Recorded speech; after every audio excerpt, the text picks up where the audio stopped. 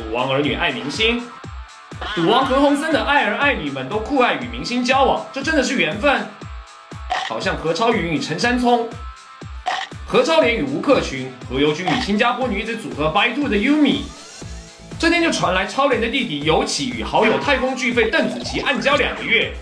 自邓紫棋与林宥嘉分手后，鲜有绯闻，就只有香港歌手彭允谦一个。不过看来也只是虚假新闻一则了。有报道指，尤其几个月前刚好与内地女友分手，同属单身的邓紫棋就不时去超莲家聊天留宿，顺道跟尤其多见面，更不时做甜点讨好对方。当然，作为好友的超莲都很乐意撮合他们喽。在这暗交的两个月当中，经常要在地球与太空往返的邓紫棋，都秘密争取时间见尤其。如两姐弟上个月在美国替妈妈领奖时，在纽约的忙完时装周的邓紫棋，也立刻去会合他们。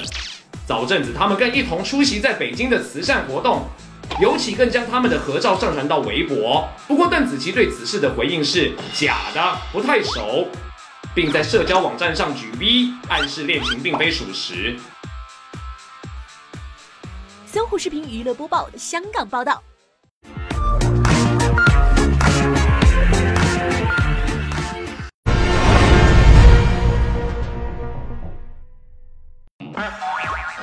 赌王儿女爱明星，赌王何鸿燊的爱儿爱女们都酷爱与明星交往，这真的是缘分。好像何超云与陈山聪，何超莲与吴克群，何猷君与新加坡女子组合 By Two 的 Yumi。这天就传来超莲的弟弟尤启与好友太空巨肺邓紫棋暗交两个月。自邓紫棋与林宥嘉分手后，鲜有绯闻，就只有香港歌手彭允谦一个。不过看来也只是虚假新闻一则了。有报道指，尤其几个月前刚好与内地女友分手，同属单身的邓紫棋就不时去超莲家聊天留宿，顺道跟尤启多见面，更不时做甜点讨好对方。当然，作为好友的超莲都很乐意撮合他们喽。在这暗交的两个月当中，经常要在地球与太空往返的邓紫棋，都秘密争取时间见尤启。如两姐弟上个月在美国替妈妈领奖时，在纽约的忙完时装周的邓紫棋，也立刻去会合他们。